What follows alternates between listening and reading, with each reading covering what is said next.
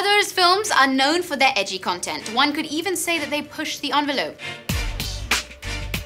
Now, the censor chief Pehlaj Nihalani thought he'd gone too far. Not that he just gave Madhur's upcoming flick Calendar Girls an A certificate, but he also demanded six cuts. Our sources have it that the cuts are related to cuss words. A source close to the situation told 9XE.com. The examining committee gave it an A certificate because the language is way over the top. Well, the censor board has been in the news for all the wrong reasons recently, but there was some good news for filmmakers. Earlier, Pehlaj played moral policeman and came out with a list of cuss words that were no longer allowed. Of course, filmmakers did not take kindly to it, and a few days ago, 9XE.com told you the list was withdrawn, much to the happiness of the filmmakers. But seems even that didn't help Madhur's case, and he will now have to knock on the doors of the revising committee.